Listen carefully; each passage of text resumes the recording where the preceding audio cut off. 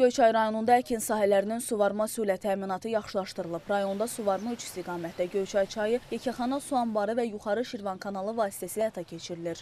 Suvarmanın yaxşılaşdırılması, mütəşəkkil aparılması və su itkisinin qarşısının alınması məqsədi ilə Göyçay çayının məcrasında 2,1 kilometrlik hissə kanala alınıb. Bu hissədə 7000 hektardan artıq suvarılan torpaq sahəsi var. Eyni zamanda torpaq məcralı kanallara beton üzlük çəkilib. İndi suvarma suyu itkiyə məruz qalmadan əkin sahələrinə çatdırılır. Əkin sahəsini su ilə təmin etmək üçün 1722 kilometr suvarma kanalının istifadə olunur. Bunun 205 kilometri təsərrüfatlar arası suvarma kanalıdır. 2046 ədədi müxtəlif tipli hidrotermik qurğulardır.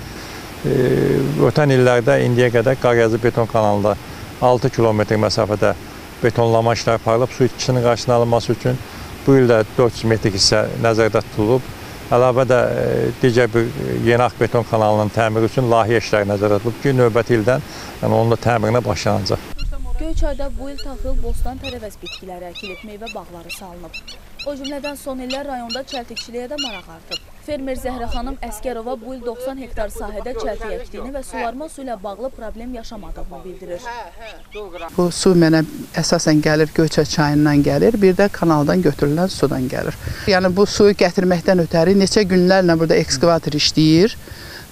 Bu ekskavator bu bərələri təmizləməlidir ki, biz suyu gətirək. Qeyd edək ki, Göyçayda suvarılan 26448 hektar torpaq sahəsindən 8500 hektarı taxıl, 5411 hektarı həyatyanı sahələr, 7000 hektarı isə meyvə bağlarıdır. Geridə qalan sahələr isə yemçilik bitkiləri təşkil edir.